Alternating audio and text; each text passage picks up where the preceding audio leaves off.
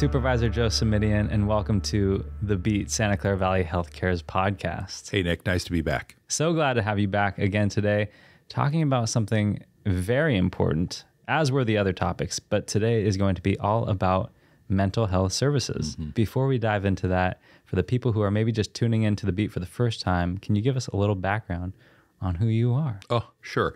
I am County Supervisor, Santa Clara County Supervisor Joe Simitian. Uh, I emphasize the county and county supervisor because, uh, frankly, a lot of folks have no idea what a county supervisor is or does. Uh, years ago, when I first ran for the Board of Supervisors, I knocked on people's doors and said, Hi, I'm running for supervisor. And one guy looked at me and said, I've already got a boss. I don't need another one and shut the door in my face. So I've, I've learned to say county supervisor so people know what I'm talking about. And, um, you know, I've served at five different levels of government now, Nick. I, uh, I started my public service as a member of the Palo Alto School Board, went on to be a mayor and council member in Palo Alto, did an earlier stint on the Board of Supervisors, then went off to Sacramento for a dozen years where I served as a member of the state assembly and then in the state senate.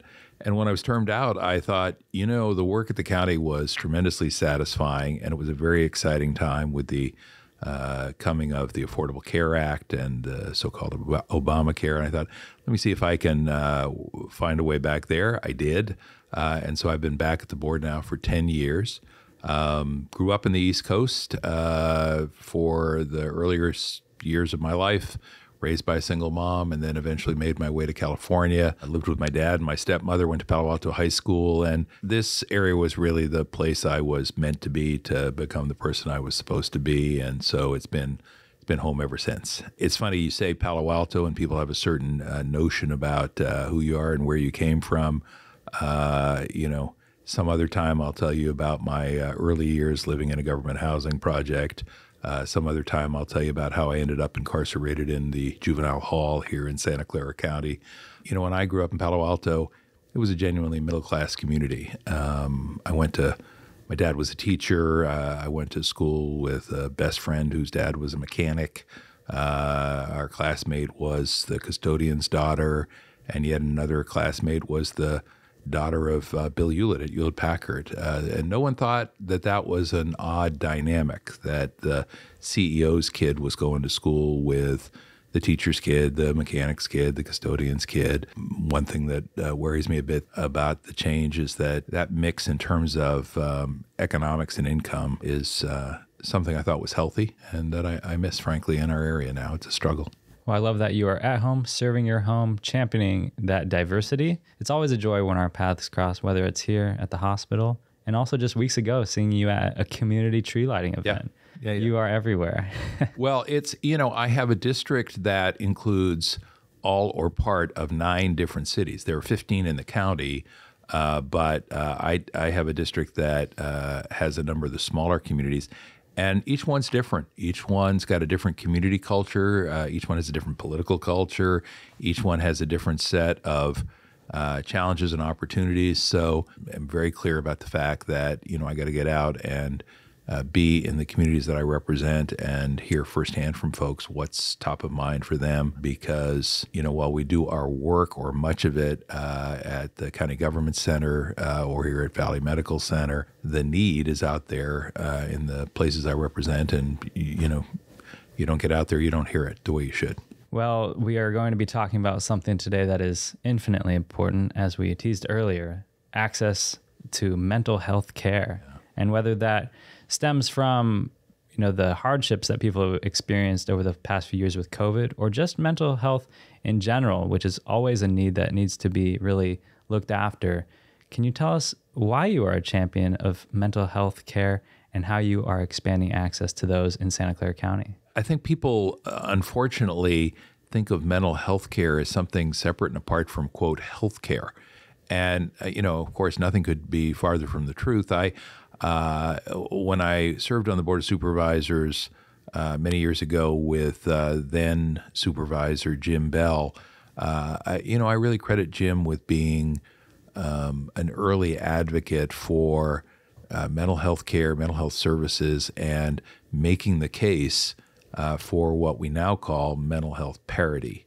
and that term wasn't particularly in use or popular at the time. But um, you know, years later, I am still remembering the conversations we had and the frustration that many of us felt about the fact that the healthcare world and certainly the insurance world uh, didn't always acknowledge that mental health needs were healthcare needs like any other set of healthcare needs and needed to be addressed and treated as such. And, you know, I think we've made progress, but not enough. Uh, we have some federal and state uh, law now on the books that says we get it. Um, but you know we don't always still see that sort of made real in terms of the way healthcare is delivered, or certainly in the way uh, insurance uh, companies respond. So you know, a big part of the push is uh, what we call mental health parity to make sure that people understand, hey, if you've got healthcare needs in the mental health arena, you're entitled to get the help you need. Uh, and then uh, pushing beyond that, uh, I have pushed for uh, what we call uh, mental health for the missing middle. And um, you know, as as is the case with other kinds of healthcare needs, I feel like sometimes folks who have a tremendous set of supports can get what they need, and folks who are covered by something like Medi-Cal might be able to access what they need. But for folks who are sort of caught in the middle, who don't make quite enough to have first rate health insurance or access to first rate providers, but who maybe make a little too much to be in a program like that, I want to make sure they have access to mental health as well. And so we've been pushing that uh, and have a program now uh, that um, allows folks who make, you know, up to gosh, I think it's 650% of the federal poverty line, uh, which is you know, a pretty pretty good number. I guess my message would be if there's somebody out there who, who needs the services, they should get the services, and we can find a way. I think in most cases to to get it. And then, you know, mental health for young people is just a whole other topic that uh, you know is uh, consuming uh, us and uh, really requires a great deal of thought and attention, and we're trying to do that. Well, when we talk about mental health care actualized, especially at the local level, and getting facilities in place, programs in place, recently you and I worked on a video together where we saw the demolition of a yeah. parking garage here at the Santa Clara Valley Medical Center campus. If you had ever told me I was going to put a hard hat on for a demolition project uh, and stand in front of a camera, I would have said seemed unlikely. But, you know, as I said on that morning, uh, you know, before you can put something up, you got to take something down. And there was this aging parking structure. That's probably the politest way I could put it. That was. Uh, uh, ultimately, that is ultimately going to be the site of really what I think will be an extraordinary facility uh, to provide acute care, uh, mental health treatment uh, for teenagers and kids who really need the help, who are in a very tough way. And we we have not simply had that kind of facility here in Santa Clara County, and uh, it's taken too long to get to this point, and um, uh, my sense of urgency is uh, constantly tested and frustrated. But uh, it was a joy to me to see the bulldozers pull up and knock that thing down, because I know that that's what's going to.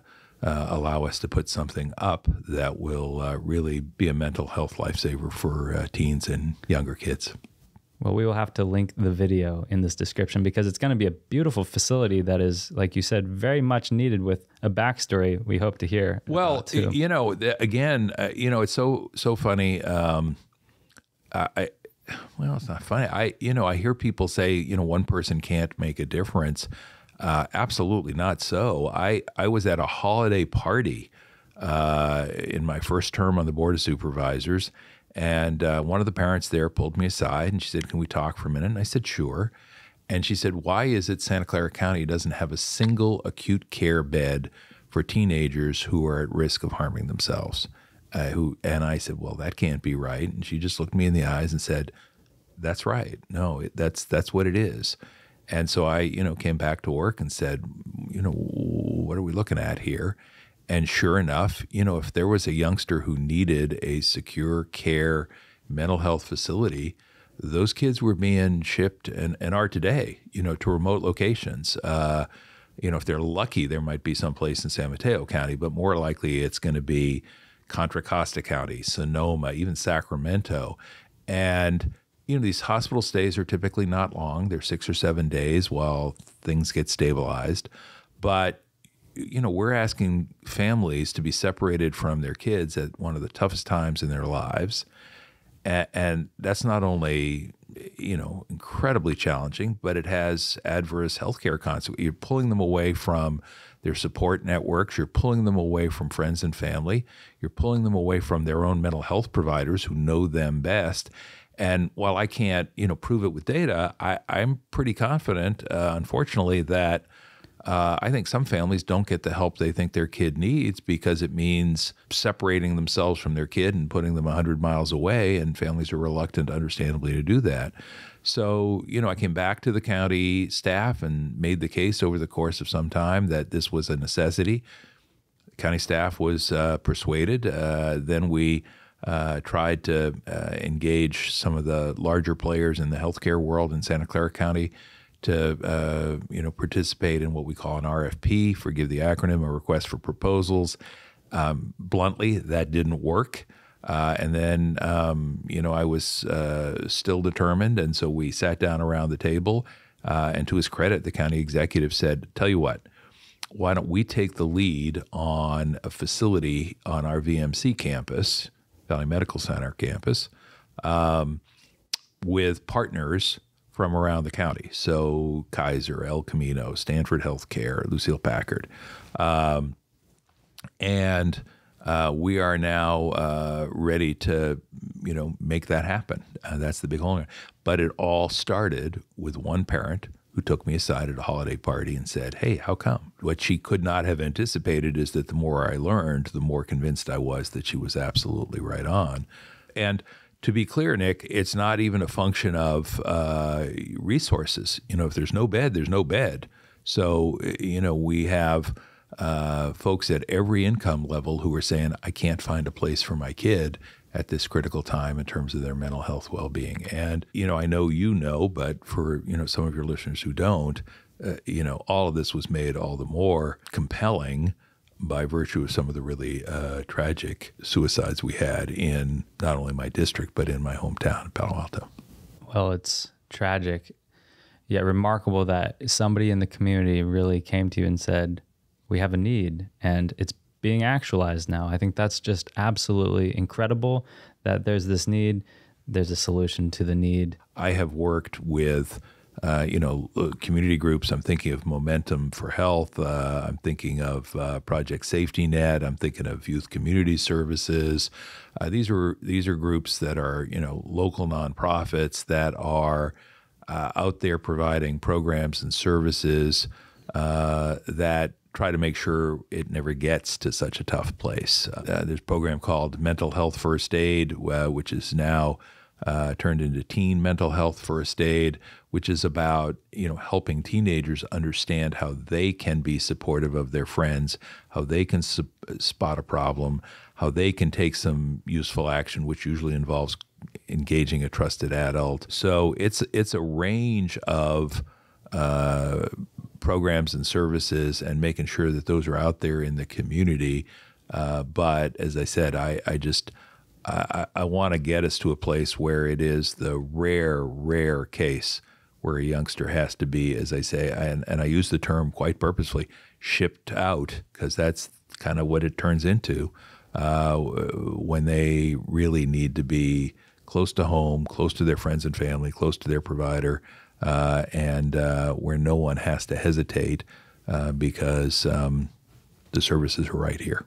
Absolutely. We hope it never gets to the case where somebody has to be in a situation to be yeah. inpatient uh, for those mental health services. But we do also work and live in a place where we have amazing professionals to take care of them in their time of need too. Yeah, and you know, it's um, when you mentioned amazing professionals, I, I, was thinking it. One of the other things that I think is um, heartening because I, I want to try and be upbeat on this uh, very serious and challenging subject is I think there is a greater awareness uh, of the importance in engaging the right professionals in the right circumstances, the right moment. I'm thinking now, Nick, of eh, you know the work we've been doing at the county level that's been um, tough but very gratifying, which is to get mental health professionals out into the community um, either uh, separate and apart from or in tandem with, excuse me, with law enforcement uh, because uh, you know I think for years and years.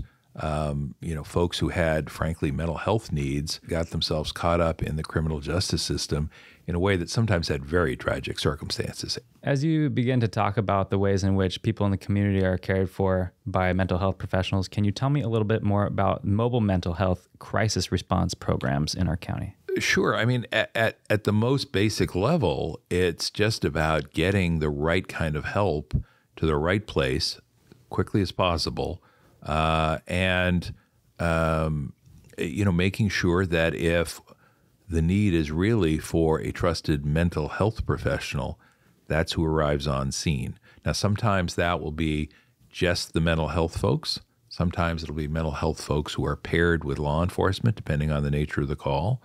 Uh, and and this requires a more thoughtful, deliberate, nuanced understanding of what's going on and what the need is.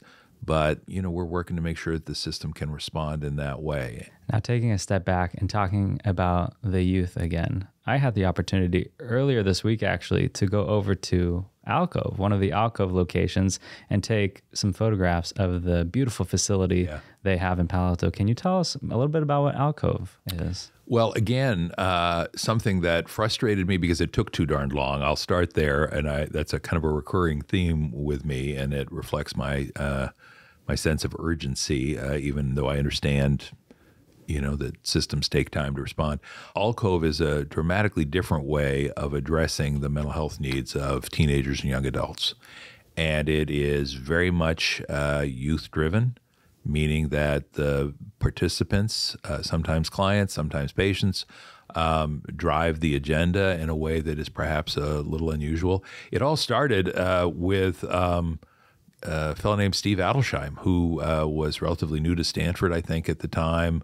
Uh, he called made an appointment. Uh, you want to talk about mental health and young people? I was obviously open to that. He sat down on the couch in my office. We started to talk he had a dramatically different model he wanted to pitch. I said, pitch away. Uh, at the time, uh, it was called Headspace. The name went through some changes, uh, and uh, now it's Alcove. Uh, he had um, uh, looked at and worked with a, a program in Australia, and I think Canada later was also a, a venue. And he said, if we can create a place that doesn't feel laden with stigma, and we let these young people and young adults engage and we provide a range of services, not just mental health, we're going to be able to change the experience dramatically and, and pull more uh, young adults and uh, teenagers in. And I said, I'm for it. Uh, I actually pursued some initial funding uh, at the county to kind of uh, serve as seed funding and get them started. Uh, and then, to their credit, the Alco folks, Steve Adelsheim and his his team, made the case for significant funding with and through the county and from other sources, and uh, opened up two Alcove sites, one in uh, the North County. Um, uh, in Palo Alto, and I'll come back to that, and then one in San Jose. The San Jose site struggled a bit because of location and the venue, and so it's now operating in a somewhat different way while uh, a new site is identified to sort of restore it to full blown alcove status. The Palo Alto site that you visited, as you probably saw, is a is a great venue, a great uh, location. It's a it's a great location because it's on Middlefield near Oregon Expressway for those who know that area, which means that it's easy to access uh, for the surrounding communities in the North County or for anyone who just wants to hop on 101. Uh, but that being said, it's in the Midtown neighborhood. Uh, so there's a little shopping area there uh, close to um, really any part of the, the city and town, as well as these other surrounding communities. Again, it's about embedding the services where they are needed. Uh, and you know, look, we're we're a big county. Um, I, I think you know you. Why would you think about this if you're not part of the county world? But you know, there are more than 3,000 counties in the country, and we are probably in the top 20 just in terms of population and it is a long road from Palo Alto in the north to Gilroy in the south. So I am, you know, ever mindful that we've got to provide these programs and services where the need is, and that's out in the community. And um, you know, if I'm in a particularly prickly mood on any given day uh, in my office at 70 West Hedding Street, I, I, you might hear me say, 70 West Hedding Street is not the center of the universe because for the folks I represent, it's not. The services that they need, as I say, they need close to home. Um, and so if that can be in the schools uh, for young people, that's good. If it can be in a, uh, neighborhood uh, that is just sort of part of the scene, that's that's good. Uh, I, I want to make sure uh, that we provide that that range of services. So we've got the alcove model going on. We've got some of these, um, you know, I'll call them prevention. And uh, eh, you know, the cliche, of course, is just say no. Well, that begs the question: How can you expect kids to say no to bad behaviors if they can't say yes to good behaviors? So you got to throw out some good behaviors and say, here they are. Here, here are you know, Youth Community Services does uh, a lot of work across county boundaries with uh, kids in uh, East Palo Alto, for example. And, you know, they've got a, an ethic of uh, volunteerism and community engagement, uh, public service that I think, you know, is intrinsically worthwhile. But I also think helps keep those kids mentally healthy because they can feel good about what they're doing with their mm-hmm. teenage years. Um, so it's a range of things, uh, and it's uh, a project that will quote never be done. And uh, you mentioned the pandemic when we started. I think the pandemic has undeniably uh, heightened uh, our awareness of the problem and aggravated the problem. Uh, but let's not kid ourselves. The problem's been with us for a long time. And I'm feeling optimistic that we're going to have a a range of um, ways to address that challenge that, that just didn't exist before. Well, uh, it was very apparent driving, you know, up to Alcove that it just again didn't look like a typical clinic. It was very inviting. It's definitely going to be a center point for teens who need that preventative uh, care and someone to talk to. A great place to go and feel that destigmatization of mental health care, which I think is is so important. Yeah, no, I mean it, it's you walk into Alcove and. Uh, the only way I can say it is there's kind of a happy vibe about the place. And you don't really think of walking into a mental health uh, clinic uh, and having a happy vibe. But mm. that's what there is at Alcove. And it's because the model is uh, a different one. And uh, I think um, you know, we're going to see more of these coming in San Mateo County right next door. I think the model has already proven itself. Uh, Santa Clara County will have been, you know, the first here in California, the pioneer on this. Uh, but it's so heartening to see uh, that already folks at the state level have um, identified this as a model that sh- should be and can be replicated. And as I say, we're going to see, I think, a couple of alcoves coming soon in uh, San Mateo County and perhaps more. I love that. There are uh, stepping stones, if you will, along the journey of taking care of people and their mental health from Alcove to the incoming facility here on the VMC campus and in between. Is there anything that you'd like to leave the audience with today? I know you said mental health care has been something that we've needed to focus on for a long time. And is there anything you'd like to add to that? Well, just I want to go back to uh, where we started, which is um, mental health care is health care and um, and the law is on the books uh, to support that assertion now. And so, you know, you're entitled to get the help you need and, and deserve. And uh, if someone is a friend or a family uh, member can help provide that little push, I hope they do. As you point out, Nick, and I think it's a, a there's this, you know, we call it a continuum of care in the healthcare world. Again, that's not a phrase I hear, you know, most uh, folks talk about, but it you know in in every instance i would encourage folks to um, get the help that they need. Uh, it's out there. Uh, it, it can be a difficult system to navigate frankly which is why i push for something called mental health navigators. Uh, you know people said what's that all about? When i um, made the case at the board of supervisors level and i said i'm calling them mental health navigators because that's exactly what they are. They are uh, folks who we now have at the county to help you navigate your way through what can be a very daunting, you know, system, as I mentioned earlier.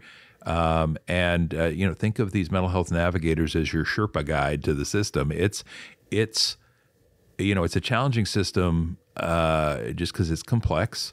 Uh, but it's a particularly challenging system at a time of mental health crisis, right? So if ever you needed some help, it's then. And you want to make sure that people have that help. So the mental health navigators are there. And, um, you know, if things do get to uh, a really bad place, you want to make sure that uh, the system can respond as well. So uh, it's why we ultimately uh, with my support, approved uh, what folks commonly refer to as Laura's Law here in our county, because that was um, uh, part of that continuum of care that we talk about. Laura's Law, which you know our professional staff uh, refers to as assisted outpatient treatment or AOT, um, you know, is really a, a system that is designed to address folks who just otherwise seem beyond help. You know, you spot somebody out there on the street they're clearly um, ill equipped to take care of themselves. They're not ready to accept uh, help that is offered. And the question is, how can friends or family intervene? And um, for years, for 20 years, uh, we've had a law in the books that required counties to uh, opt in uh, that allows mental health professionals to work with the court system uh, to uh, compel, if necessary, some mental health treatment. And we don't want to go back to the bad old days when uh, folks were denied their civil rights, frankly, and their due process. But we do want to make sure that people can get the help they need. And if that requires, uh, you know, engagement by the courts as well as by our system, so be it. The law changed recently, and we were obliged to take another look at Laura's Law here in Santa Clara County because we had not opted in for years and years. Uh, the law changed a couple years ago, and uh, the new law requires that you either opt in or make a formal decision to opt out and explain your reasoning in an open and public setting. And our county staff initially came to us and said, We want to encourage you to opt out again. And uh, my colleague and I on the Health and Hospital Committee, uh, which I chair, and Supervisor Otto Lee is the vice chair, uh, both said, you know what, we think we need to give this a serious look. And uh, we called in some uh, nonprofit professionals who were helping to make Laura's Law work in other counties, heard their stories. Ultimately, we were both persuaded that the uh, smart use of uh, assisted outpatient treatment, Laura's Law in Santa Clara County could and would benefit our county, and we made the judgment to move forward. Was there a cost? You bet. Uh, and did it require some of our staff to kind of get out of their comfort zone? It did. It does. Uh, but board of supervisors ended up in the same place. Uh, we're administering that program now, and um, it's not a panacea. It's not a cure-all. It will be limited to a very uh, relatively small number of folks out there. But these are folks who are in a pretty desperate place and who really do uh, deserve the response. Some folks said, well, you know, I'm not sure you can compel or require. And it was interesting. Others had a different frame on it. They said, eh, never mind compel or require. These folks are not getting the services they deserve. And, um, you know, unless you take this step forward, they're never going to get the services they deserve because they're not going to, you know, sort of walk in the front door and say, you know, can you give me some help, please? So, um, too early, I think, to to have a conclusion about how uh, things are working here in Santa Clara County. But the experience in other counties, I think, has for the most part been good. And I, I think we absolutely made the right decision to say this is one more tool we've got to use uh, if we're going to deal with that full range of needs. Well, I think it's so heartening to hear that you really are prioritizing mental health and it's invaluable. You know, there's a cost, but it's something that really needs to be looked at. People experiencing uh, mental health struggles as well as mental health uh, crises in in particular moments. So we thank you for all of your work yeah. toward combating mental health, destigmatizing it, making uh, care accessible to all in mental health, as well as a range of other things that we really hope to have you on the beat again to talk even more about. I consider you a friend and you're a friend of the county, Supervisor Joe Simitian. Thanks, Nick. And thank you for the work you do to spread the word because I think that is a, a, critical part of making sure folks get the help that they uh, need and deserve.